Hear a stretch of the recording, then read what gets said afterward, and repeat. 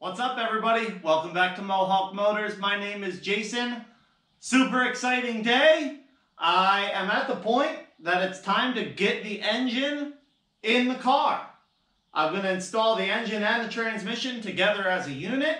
My new BMR K-member, finally, after three different K-members, they finally managed to get me the right one.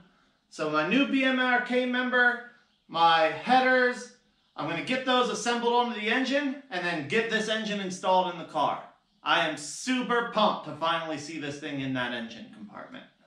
So, got the engine lifted up with the hoist.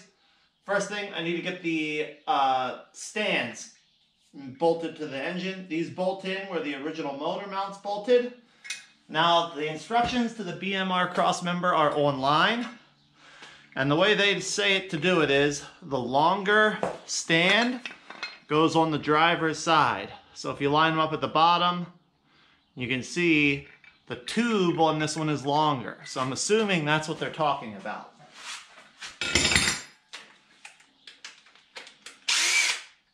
I'm just reusing the stock motor mount bolts. Uh, I mean, if GM thinks they're good enough to last indefinitely, I don't see why they wouldn't be good enough for this.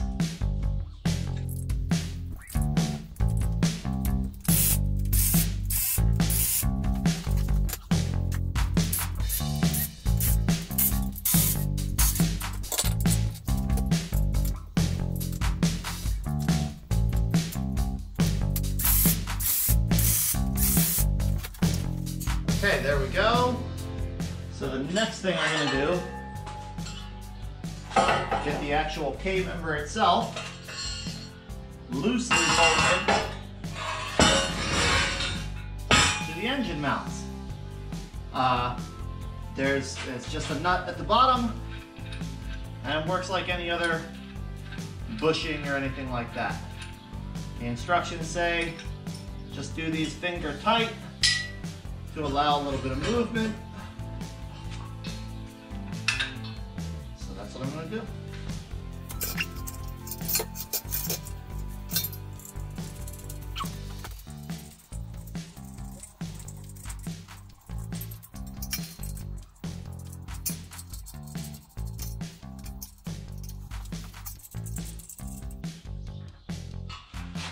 Okay, that's got those finger tight.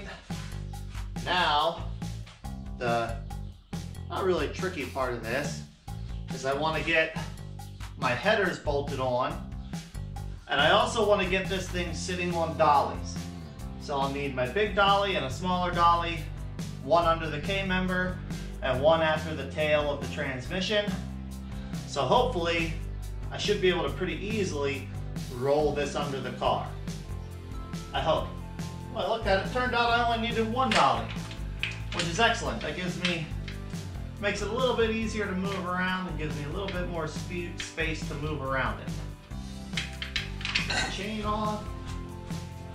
And then I want to get my headers put on also before I put it under the car. I think it's going to be easier to get those headers on now than it will be once it's in the car. And I can't think of any reason why I would need to take the headers off from this point on. They, uh, I mean, they should be staying on there. So, I'm just reusing factory multi-layer steel exhaust manifold gaskets on this. Uh, I am putting new exhaust manifold bolts into it, but they're just, they're Dorman stock replacement exhaust manifold bolts. Nothing special, guys rebuild, gasket rebuild in a can.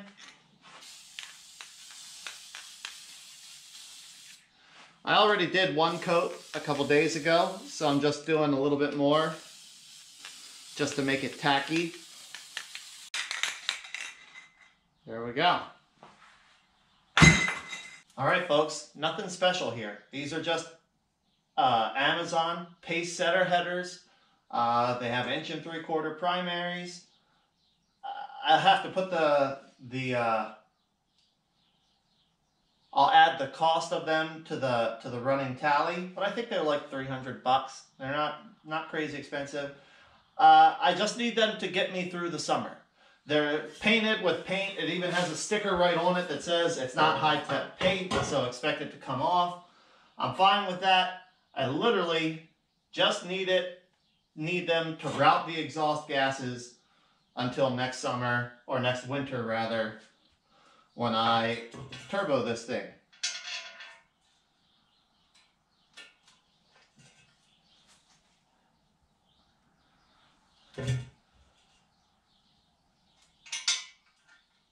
These are just Dorman stock replacement exhaust manifold bolts.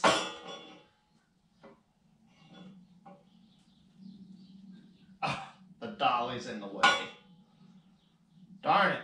So I just jacked up on the back of the transmission a little bit. Give myself a little more room.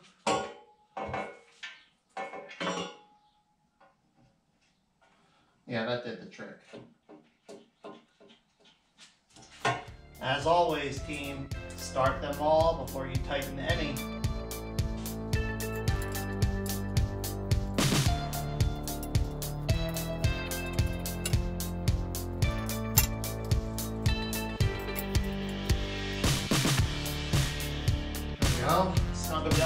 Down with the impact and torque the back.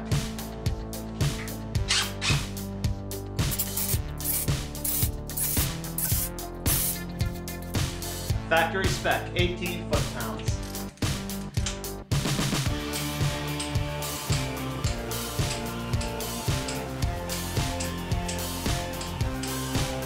There we go. Do the same thing on the other side.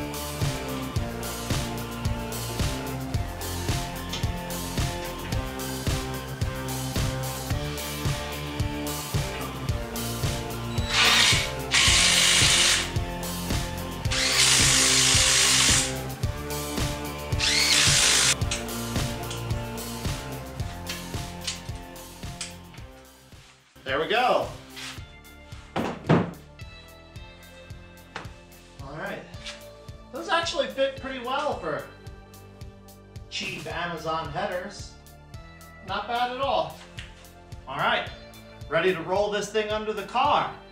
Uh, I wound up, I put a little 2x4 spacer at the front and the back so the engine sits level on the dolly. That should make it easier for me to get it lined up uh, get the K-member bolts lined up under the car.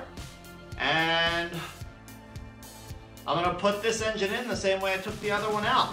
Lift the front of the car using the engine hoist, roll this under, and then very, very slowly lower the car down over top of it.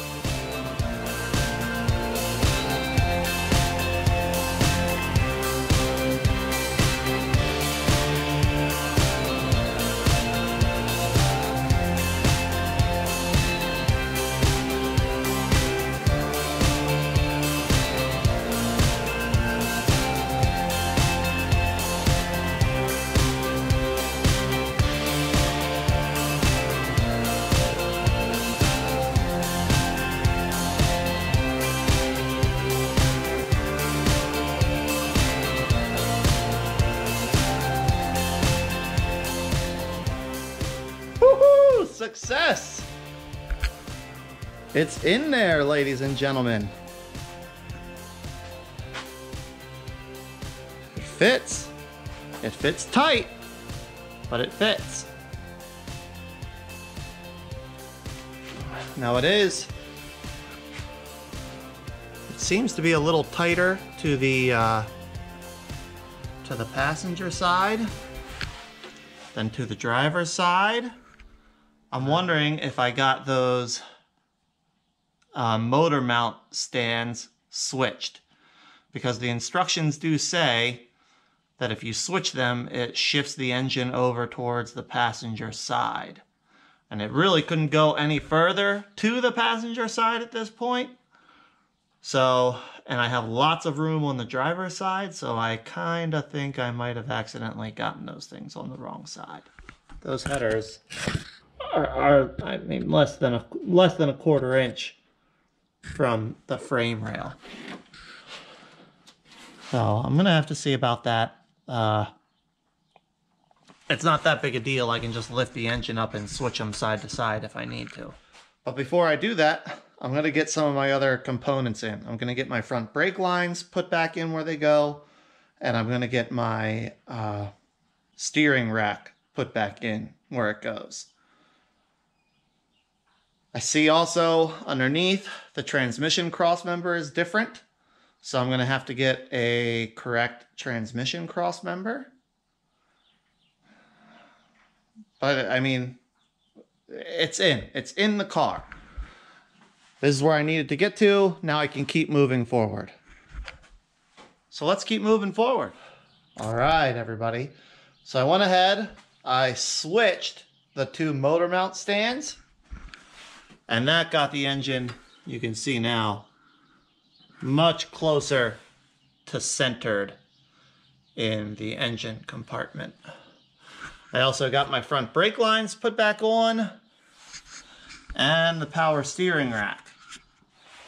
So I think the next thing I'm gonna do is get my uh, my front control arms and my front suspension assemblies put back into place. So I've got this side completely reinstalled. Uh, suspension all hooked up, steering hooked up, uh, everything where it belongs. All the electrical connectors hooked up, brake line hooked up. This side, driver side is good. I didn't get to the passenger side yet. I'll have to do that next time I'm out here. Uh, but we'll get that hooked up and then we'll work on getting the, the fluid systems bled. The brakes, the clutch. Oh, and we'll probably start getting the, uh, the fan, the radiator, all that stuff back in place too. So, progress. All right, everybody. I think I'm calling it for this video. I've been out here just plugging away at stuff a lot of things match up, some things don't, but I've gotten pretty much everything back together that I can with the parts that I have. I'm still, again, waiting on some parts and pieces to get here. But let me show you what, what I do have done. So I have the engine in the car. It's sitting on the mounts on the K-member. The steering is all hooked up. All the plumbing except for the fuel is hooked up. Brakes, power steering, uh, stuff like that. I do need to get an upper radiator hose and I need to get some heater hose. Uh, but everything else is plumbed back up. I've got all the front suspension back in place, bolted in on both sides. I've got the radiator, the fans, the AC condenser back in place. Serpentine belt is hooked up. Um, pretty much all of the, the major components are in. Now I'm waiting on transmission cross member. The T56 cross member is different from the T5 cross member. So I just ordered an aftermarket T56 cross member. Um, like I said, I need to get an upper radiator hose. I need to finish up the wire harness. Uh, for lack of a better way to say it, it's a pretty in-depth uh, rework on the wire harness. You're going to see two videos on that because it's just too in, too much information for me to get into one video. And then, man, after that, it'll be uh, fill it up with oil, fill the transmission, and then get fuel plumbed and get a first start on this thing. So it's getting really close. Uh, hopefully by by this time next week, I'll be able to get this thing started up, and I'm really looking forward to hearing that. I hope you guys are finding this educational. I hope uh, if you're going to be doing a V6 to V8 swap in a Camaro, this helps guide you through. And I will add the most up-to-date project cost here at the end. Thank you so much for watching. I hope you're enjoying. And until the next video, take care.